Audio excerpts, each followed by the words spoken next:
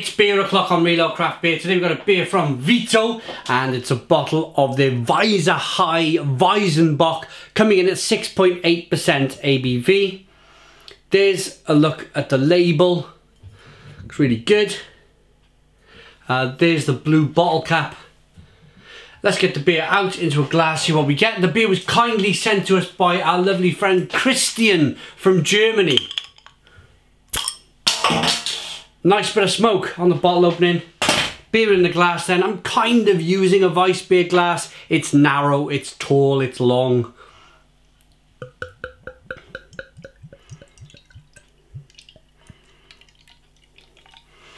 Beer in the glass then. I'm going to really wash this. I can see the sediment on the bottom of that bottle.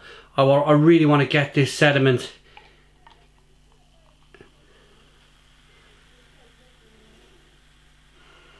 into the beer. It's very important you do that for a Weiss beer, a Weizenbock, that type of style of beer.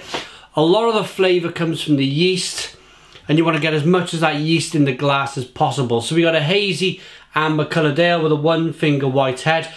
Good levels of carbonation. It looks a well conditioned beer. Let's get the aroma. Hazy as you like then.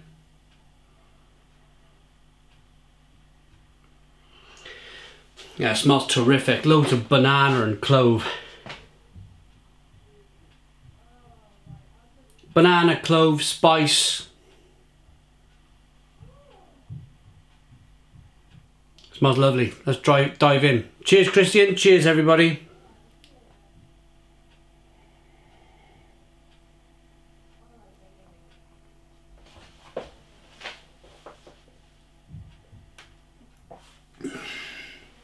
Oh, Stone the Crows, Stone the Crows. For me, this is just like, it's like drinking milk.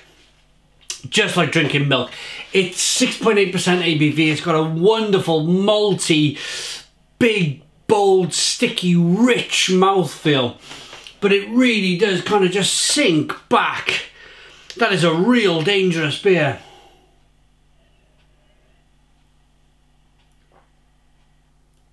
Oh my goodness me, that is so, that is one of the smoothest, creamiest, velvety, wonderfully conditioned Weizenbocks I've ever had on the channel. That is absolutely superb. And as with the Orange Wit I reviewed from Veto the other the other week, I give that a 10 out of 10. I think this is an absolutely terrific terrific example of a beer, of a Weiss beer, Weisser Hai Weizenbock. So, Bock means strong, Weiss is the style of beer, so it's a stronger version of a Weiss beer at 6.8. But, but you really wouldn't know. You really wouldn't know you were drinking a 6.8% ABV beer. Not from a mile off. Not from a mile off.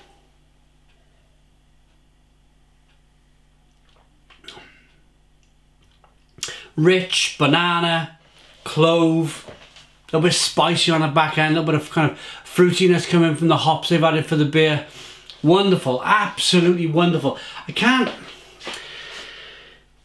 One day, one day, these these YouTube videos will have and taste vision. You'll be able to, unless you just buy a bottle of this and and, and, and drink along with me and and and I'm sure if you get if they brewed the beer as well as they brewed this batch, you will be in total agreements agreements with me as to how good this beer is.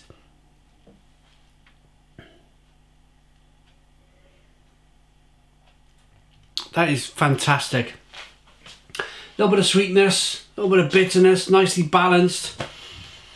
Blimey, I don't know, I think I could drink four or five of them and then I think I'd be in big trouble.